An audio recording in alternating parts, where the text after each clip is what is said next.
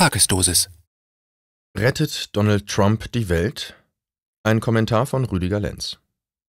Der US-Präsident Donald Trump segnete das Pentagon-Budget für 2019 in Höhe von 716 Milliarden Dollar ab. Ferner untermauerte er seine Pläne für eine Weltraumarmee und fand glorreiche Worte für die Verteidigung seines Landes. Zitat Anfang Wir haben 716 Milliarden Dollar zugesagt, um ihnen die besten Flugzeuge, Schiffe, Panzer und Raketen der Welt zu besorgen. Keiner baut die so, wie wir es tun. Wir haben da einen großen Vorsprung. Arbeitsplätze sind immer wichtig, aber in diesem Fall ist die militärische Macht noch wichtiger als Arbeitsplätze. Diese ganze Ausrüstung wird in den USA hergestellt und es ist das beste Material der Welt. Keiner macht das so gut wie wir. Zitat Ende. Riesenjubel der geladenen US-Soldaten. Trump schob nach und meinte, dass es sich bei dieser Investition um die bedeutendste handele, die in der modernen Geschichte des US-Militärs getätigt wurde. Weiter sagte der US-Präsident, wir werden hoffentlich so stark sein, dass wir sie nie brauchen. Gemeint war die Feuerkraft des US-Militärs. Weiter im O-Ton des Präsidenten, Zitat Anfang, wie der Himmel, die Erde und das Meer ist der Weltraum zum Schlachtfeld geworden. Rivalen hätten bereits begonnen, den Weltraum zu bewaffnen, eine Präsenz der USA im Weltraum reicht nicht aus, wir müssen eine Dominanz der USA im Weltraum haben. Zitat Ende. Jetzt ist es amtlich. Trump leidet am Größenwahn. Und wie bei so vielen dieser Menschen, die am Größenwahn leiden, bemerkt er es natürlich nicht. Sein Größenwahn hat die Bezeichnung Space Force. Am letzten Samstag brachte der Journalist und Buchautor Ernst Wolf eine Tagesdosis heraus, in der er nicht gerade zugunsten der Anhänger Trumps schrieb. Trump sei kein Friedensfürst, er sei auch nicht gekommen, die Welt vom Elend, der Ungerechtigkeit und dem Finanzchaos zu befreien. Trump sei ein Präsident wie alle vor ihm. Vor allem der Finanzwirtschaft und dem militärisch-industriell-informatischen Komplex verpflichtet. Trump, ein Feind des Establishments, war wohl ein Trugbild, so wie ihn sich die QAnon-Bewegung erdacht hat. Trump will, laut dieser Bewegung, die Eliten stürzen. Er will die Hallen der Macht zertrümmern, um diese Macht dem Volk wiederzugeben.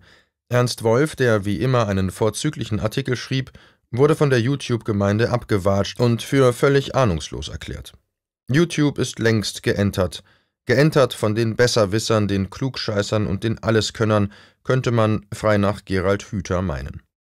Wenn es also nach diesen Leuten geht, dann hat der US-Präsident dem Pentagon also 716 Milliarden US-Dollar bewilligt, weil er die Eliten damit stürzen will, den Frieden und die Gerechtigkeit auf diesem Planeten säen möchte und, ganz wichtig, weil er jedermanns Unterdrückung den Garaus machen will. Ob denselben Leuten auch klar ist, dass die Nebenbudgets des Pentagons, die ausgelagerten sozusagen, etwa über eine Billion US-Dollar Militärausgaben entsprechen? Auch alles für den guten Dienst an der Menschheit? Läutere niemals an den Vorstellungen der Einbildungskraft und den erhofften Bildern derer, die all ihre Wünsche und ihr Hoffen auf einen einzigen Punkt hin konzentrieren. Der wird es jetzt machen, was ich mir zusammengereimt habe. Denn Donald Trump ist der Kulminationspunkt der Geschichte. Ob diese Leute schon einmal vom Backfire gehört haben, vom Ich weiß, ich habe Recht Syndrom? Ich glaube nicht. Gemein ist diesen Leuten, dass psychologische Kenntnisse Geschwurbel sind. Trumps Kulminationspunkt soll das Beherrschen des Weltraums werden, des Orbits dieses Planeten, um exakt zu sein. In diesem Sinne sprach er sogar von einer sechsten Armee, die er eigenständig dafür mit Waffen versorgt sehen will. Andere seien schon dort und üben Präsenz aus, er meint damit andere Nationen.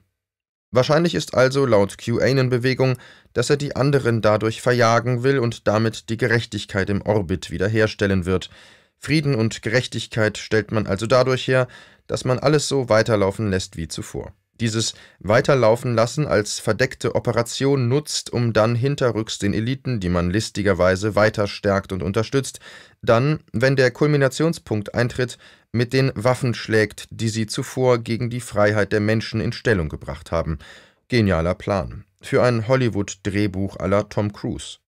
Doch die Wirklichkeit, die sieht ganz anders aus. Der Präsident ist nicht der mächtigste Mensch der USA oder der Welt, er ist bestenfalls Erfüllungsgehilfe und kann etwas herummotzen, aber die Macht, die haben ganz andere Menschen und Gruppen. Trump ist durch und durch ein Kapitalist, und er ist einer, der es Teilen der Eliten zeigen will. Trump ist dein Leben völlig egal. Man muss sich einfach einmal mit Trumps Biografie auseinandersetzen und nicht nur damit, was er angeblich tun will. Ist Trump ein guter? Ich persönlich habe den Eindruck, dass Trump an einer bestimmten Art des Mutterkomplexes leidet, aber das lasse ich dann doch lieber einmal den Psychoanalytiker Hans-Joachim Marz bewerten. Auf Seite 133 schreibt Hans-Joachim Marz in seinem Buch Das falsche Leben folgendes: Zitat Anfang. Das ungeliebte Selbst wird sich anstrengen, für Leistungen geliebt zu werden oder die innerseelische Verkümmerung von anderen pflegen zu lassen. Der Vernachlässigte will beweisen, dass ihm Unrecht geschehen ist, mit Trotz und demonstrierter Schwäche will er anderen Zuwendung abringen. Der Ungeliebte wird zum Erfolgsmenschen in einer normopathischen Leistungsgesellschaft oder zum Bedürftigen in einem Sozialstaat, der keine Forderungen mehr stellt. Zitat Ende. Das trifft den Kern der Persönlichkeit des 45. Präsidenten meiner Meinung nach viel genauer, als es sich die QAnon-Bewegten erträumen.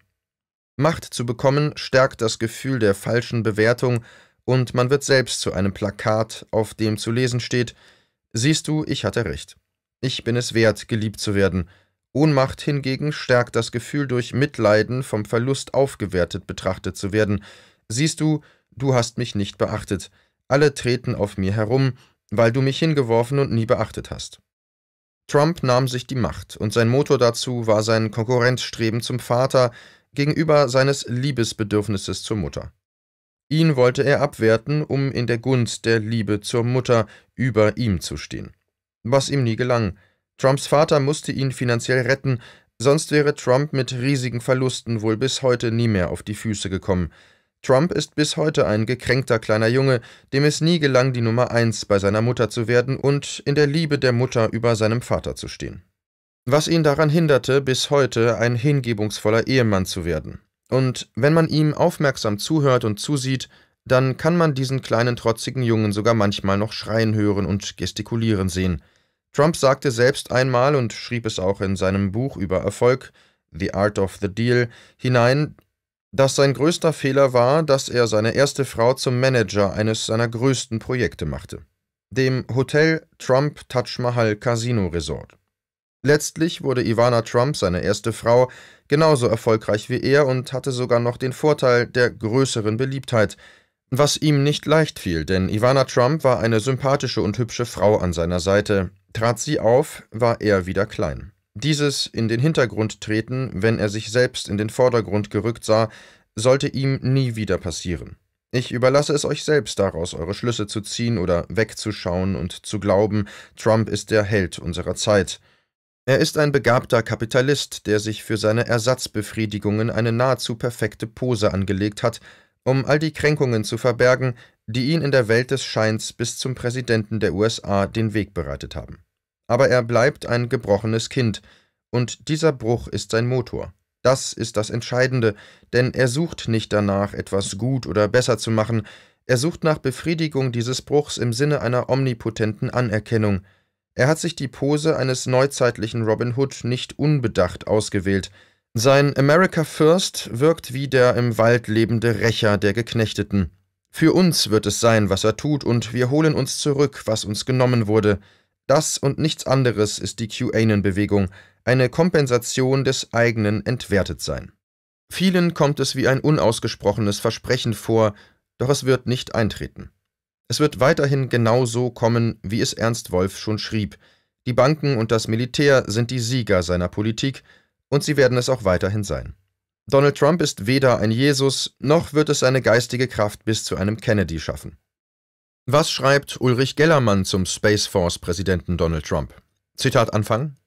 Leider gab es den Kinderglauben an eine fundamentale Differenz zwischen dem US-Establishment und Donald Trump bis in die Reihen der deutschen Friedensbewegung dass es sich um nichts anderes handelte als um die übliche Prügelei unterschiedlicher Profitfraktionen, dürfte spätestens jetzt, nach der bedrohlichen Wiederkehr der Star Wars-Pläne, auch denen klar sein, die immer noch auf einen guten König hoffen. Es rettet uns leider kein höheres Wesen, geschweige denn eine solch niedere Existenz wie Donald Trump. Zitat Ende. Derweil in Absurdistan Trump blockiert selbst abgewickelte Auslieferung von mindestens 100 F-35 Kampfjets an Erdogan. Die Türkei wäre damit zum drittgrößten F-35-Geschwader weltweit geworden. Natürlich hat Trump diesen Deal nur unterbunden, um die Freiheit der türkischen Gesellschaft voranzubringen und die türkischen Oligarchen zu entmachten. Ob es wohl in der Türkei auch eine QAnon-Bewegung gibt? Ich glaube nicht. Und noch ein letztes. Omarosa Manigo Newman eine Ex-Kommunikationsdirektorin des Büros des Weißen Hauses hat nun ein Buch über die Machenschaften des 45. US-Präsidenten geschrieben, in dem sie ihm Rassismus, Frauenfeindlichkeit und das Belügen der US-amerikanischen Bevölkerung vorwirft. Man müsse aufpassen und dürfe sich nie umdrehen, sagte sie in einem Interview mit NBC, denn sonst würden 17 Messer im Rücken stecken. Kommt einem wie eine Filmserie vor. Wie heißt die noch? Ach ja, House of. Äh, ach egal. Noch einmal für die Donald Robin Hood Trump-Anhänger hierzulande, Originalton des US-Präsidenten, aber in diesem Fall ist die militärische Macht noch wichtiger als Arbeitsplätze. Ganz klar, klingt nach Befreiung.